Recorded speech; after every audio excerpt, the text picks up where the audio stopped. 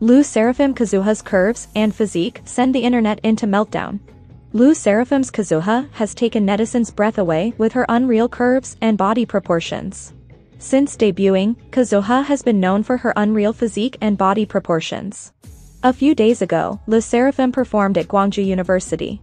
Along with their live vocals, Kazuha gained attention for her unreal body and curves in a stunning outfit that consisted of a black crop top, cropped check shirt, and low-waisted jeans.